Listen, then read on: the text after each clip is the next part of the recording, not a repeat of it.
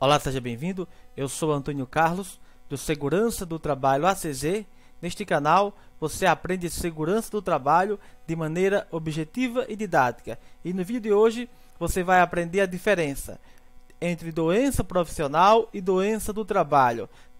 Trarei teoria esquematizada, mais exemplos, além de questões comentadas, de modo que você assimile esse conteúdo de uma vez por todas, assunto importante não só para a prática profissional, mas também muito cobrado em provas e concursos. Portanto, vamos ao vídeo. O que vem a ser doença profissional? A doença profissional, também chamada de doença ocupacional, acontece em decorrência da contínua exposição do trabalhador aos agentes de riscos. Portanto, de acordo com a com o artigo 20, inciso 1 da Lei 8.213, que trata dos benefícios da Previdência, a doença profissional pode ser entendida como a produzida ou desencadeada pelo exercício do trabalho peculiar, grave essa informação, a determinada atividade e constante da respectiva relação elaborada pelo Ministério do Trabalho e da Previdência Social. Portanto, é uma, do, é uma é doença peculiar à atividade profissional, ou seja, peculiar àquela profissão. Eu trouxe alguns exemplos. Por exemplo, o trabalhador que trabalha com chumbo, ele corre o risco de adquirir uma doença profissional chamada de saturnismo. Silicose é uma doença proveniente da silica livre cristalizadas.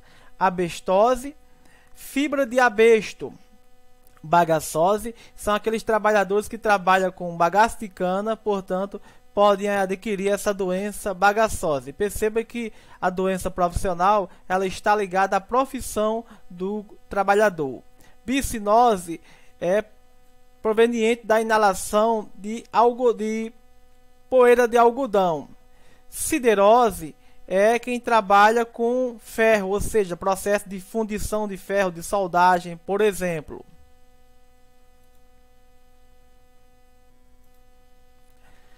A birilose é proveniente de poeiras de fumos de berilo. Estanose, poeira de óxido de estanho. Antacrose é uma doença proveniente do carvão mineral. Hidragirismo é uma doença proveniente do mercúrio. E elaioconiose é uma doença profissional daqueles trabalhadores que laboram com óleos e graxas. Agora, da doença do trabalho. O artigo 20, inciso 2 da Lei 8213 estabelece que doença do trabalho pode ser entendida como aquela adquirida ou desencadeada em função de condições especiais. Portanto, enquanto a doença profissional ela é peculiar a uma atividade, já a doença do trabalho está relacionada com condições especiais em que o trabalho é realizado e que, e que com ele se relacione diretamente, ok? Informação importante. Portanto, com ele se relacione diretamente, ou seja, tem que ter essa relação direta. E além, além disso, deve ser constante é, na, na relação elaborada pelo Ministério do Trabalho. São exemplos de doença do trabalho, a LER, que é um, uma lesão por esforço repetitivo, ou seja, um digitador, por exemplo, ele ao longo dos anos trabalhando digitando, ele adquire, adquire uma LER, é um exemplo de doença do trabalho. Surdez, ou seja, aquele colaborador trabalha num ambiente ruidoso e pode adquirir uma, uma surdez, seja ela te, temporária ou permanente, portanto, aquelas condições do, do trabalho, ou seja, nesse caso aqui, qual é a condição? Um ambiente ruidoso. Dermatite é aquele trabalhador que mexe, que trabalha com cimento e não usa uma luva apropriada, por exemplo, ele pode vir adquirir essa doença do trabalho ou doença ocupacional, essa doença dermatite. A catarata, por exemplo, aquele trabalha, trabalhador que trabalha em um ambiente com altas temperaturas, portanto, mais um exemplo de doença do trabalho. Quais doenças não são consideradas como doença do trabalho? Segundo o mesmo artigo 20, é, inciso 1 desta lei 8213, não são consideradas doença do trabalho, ou seja, nesses casos aqui não é não não é considerado não é considerada doença do trabalho. Letra A, a doença degenerativa. Grave essa informação.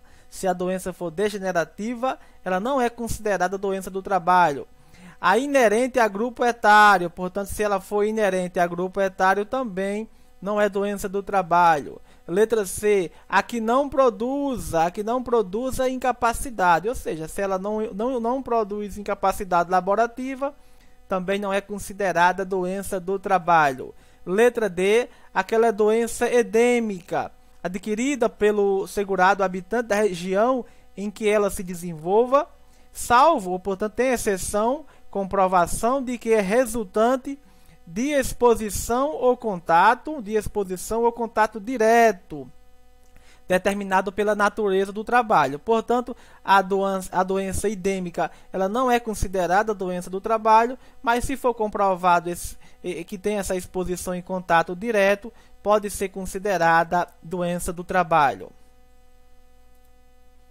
Agora, uma questão para você entender como entender e aprender como é cobrado esse assunto. Uma questão da Seis Gran Rio, a, Liquid Gas 2018.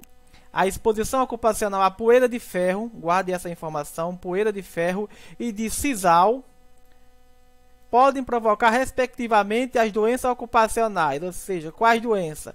Poeira de ferro, a primeira, e, e sisal. Está dizendo letra A que poeira de ferro seria abestose e sisal seria antracnose. Letra B, ferrose e salcose. Letra C, saturnismo e bagaçose. Letra D, siderose e bicinose. Letra E, silicose e hidragirismo. Ou seja, qual sequência de doença você considera que a exposição ao ferro gera, aqui na primeira coluna, e a exposição ao sisal. Tente responder a questão e só após vá aos comentários. Vamos ao coment aos comentários da questão. A letra A está errada, pois essa exposição ao ferro, ela, ela não, não é, seria abestose. E a questão a, e a segunda antracnose. Antrax seria an, antracose, não antracnose. Mas a exposição ao ferro não não é não é essa bestose, seria abesto, e o nome correto não é antracose, é antra, antra, não é antracnose, e sim antracose.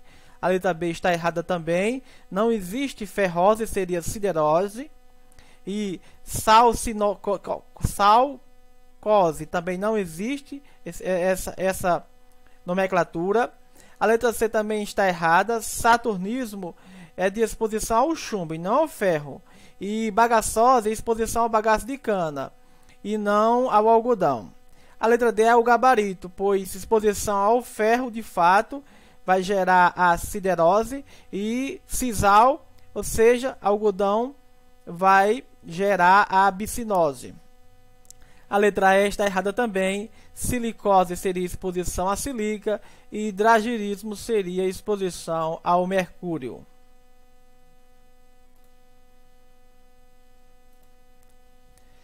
Próxima questão. São consideradas como doença do trabalho, exceto, ou seja, que não seja considerada não são, perdão, não são consideradas doença do trabalho, exceto, ou seja, pede um caso que seja considerada doença do trabalho. Esse não, esse não repetitivo aqui, esse não e exceto, ele gera um sim. Ou seja, não são consideradas, exceto. Então está pedindo que, que é considerada. A doença letra a letra A, doença degenerativa, letra B, a doença inerente a grupo etário, letra C, as doenças funcionais e letra D, as doenças endêmicas não provocadas por atividade laboral. Qual das alternativas você considera ser uma doença do trabalho? Tente responder e só após aos comentários. Portanto, vamos aos comentários.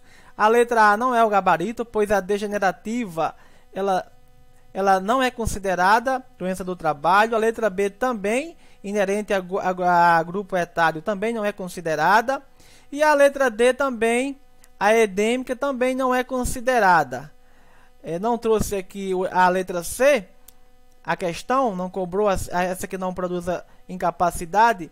Portanto, a letra C é o gabarito, uma vez que uma doença funcional por exemplo, uma tendinite na função de um digitador é uma doença do trabalho. As demais que a questão trouxe não é doença do, não é considerada doença do trabalho, mas uma doença funcional, essa sim é considerada uma doença funcional. Quer aprender segurança do trabalho de maneira objetiva e didática? Tem acesso ao conteúdo que mais aprova em segurança do trabalho. Eu criei o kit de aprovação segurança do trabalho um conteúdo direcionado para aprovação na área de segurança do trabalho, contém vídeo aula mais o PDF e MP3 para você baixar. Um conteúdo atualizado. Irei deixar o link na descrição abaixo do vídeo para você conhecer o kit segurança do trabalho. Um conteúdo que vai evitar você um estudo improdutivo e vai acelerar seus resultados e suas aprovações.